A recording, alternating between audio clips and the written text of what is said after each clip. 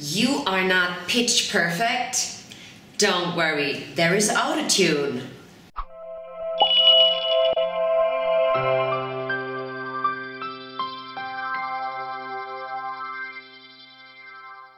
Let's go into the one million dollar question.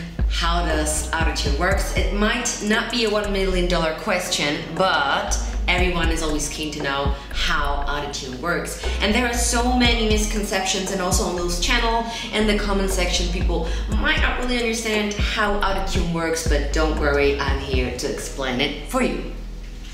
So how does autotune really work? So first of all, autotune is an audio processor which detects the pitch of each note sung in real time and automatically shifts it to the nearest exact tuning. That's kind of cool, doesn't it? So basically it's like this. Whenever you are flat, right?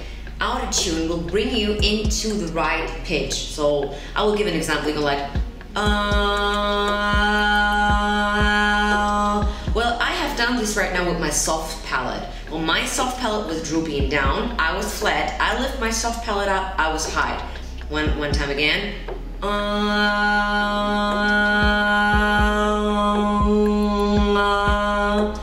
kind of cool what I can do with my voice. But even better if you have autotune, because yeah, autotune can help. The rate can be carefully calibrated so voice sounds natural by tacking the voice smoothly back to the reference pitch or it can sound quite robotic and pretty unnatural. Cher was the first one to use autotune on her single Believe and that was such a new and incredible sound that autotune was sold within that year to all of the major studios in America. That's quite a story, isn't it? So autotune can help you to be rather really clear or you can sound pretty unnatural and robotic. This is not always easy to detect. Um, you might hear it crystal pitch perfect clear and then sometimes it's just autotune over it. It can be a great tool and it can also be kind of a lazy helpful tool for someone that not really works on his pitch correction. So now let's go into my favorite part, how does it work live? Well, that's kind of a challenge, but we will go there. I just want to name some of the ways, one way that you can use it, and that is for using a computer with software such as Melodyne or Antares. If you want to try it out yourself, then you can download the free software Audacity and then just play a little bit around with Autotune.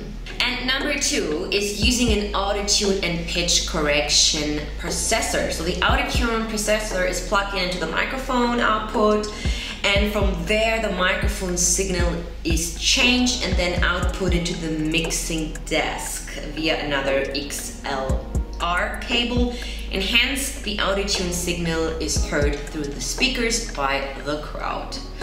I hope you enjoyed this music crash course from my new series Music Education. Don't forget, give it a thumbs up and then subscribe to this channel. If you want to leave your suggestion for reaction videos, you can do it on the other videos. And if you have more ideas for our new music series, then please, I would be so happy if you put them down in the comment section because we love your ideas. Also singing tips, then please put them down in the comment section. And I see you in my next video. Thank you so much for tuning in.